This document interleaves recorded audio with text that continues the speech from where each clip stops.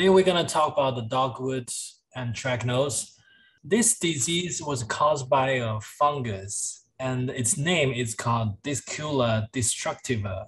Just based on the name, you can tell it's very destructive and you don't want to name anything like this destructiva. So this disease was first reported in late 1970s in United States and was recently found in St. Louis area. Fortunately, this is only part of a region in the states that this dogwood anthracnose was confirmed. Therefore, everyone is very careful for this disease since it is very deadly for dogwood. If you have a concern about your tree or you want to verify whether it is the dogwood and anthracnose, you can contact MDC Forester or report to their email address you can always send a sample to my lab for confirmation, and I will also report to Missouri Department of Agriculture. Now let's talk about what this disease is and what a symptom it is. For many of you who regularly attend a town hall meeting, you might still remember my talk on anthracnose on trees and shrubs a couple, maybe a couple months ago. And you can tell those two photos are maple tree and a sycamore tree anthracnose disease. I think during that talk, I mentioned to you that in those trees, even though you can see the lesions and the spots are everywhere, causing all of defoliation, normally they will leaf out during the season or next year, depends on the weather condition. This type of anthracnose is called spot anthracnose, which is very native to the uh, to the North America.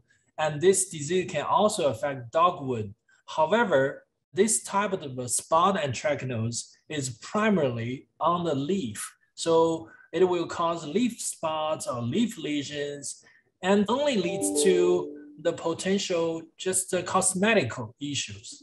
However, unlike those native spot anthracnose commonly seen in dogwoods, which are shown here, today we're gonna talk about another disease which is not a native to North America, it's called dogwood anthracnose.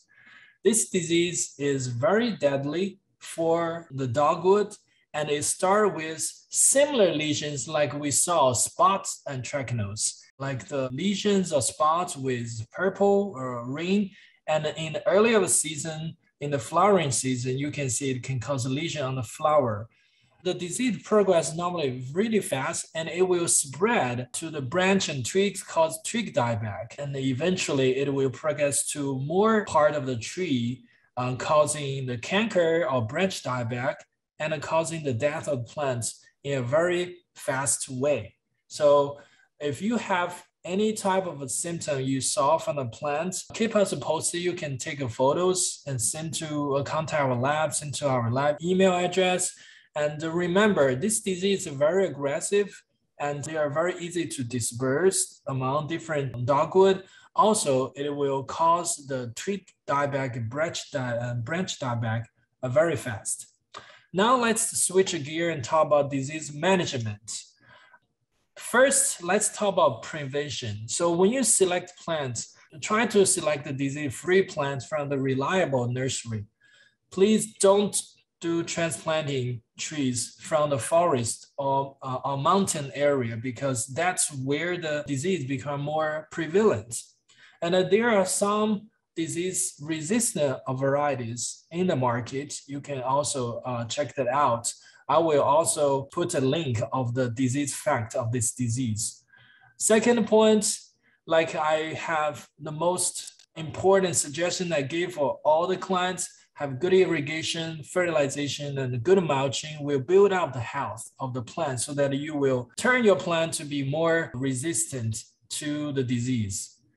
Third, have a good scouting, check your plant regularly, check any dead tissue, and make sure it is not disease related. And if you see any dead tissues or showing similar symptom that I showed in this talk, let us know and then have a good sanitation, you will need to do the pruning or removing the dead wood in the tree almost like yearly and rake the leaves on the ground so that they will not become the secondary inoculation or inoculum source for the next year. For pruning, the, the other suggestion, try to avoid mechanical or chemical injury to the tree, which will weaken the tree health condition.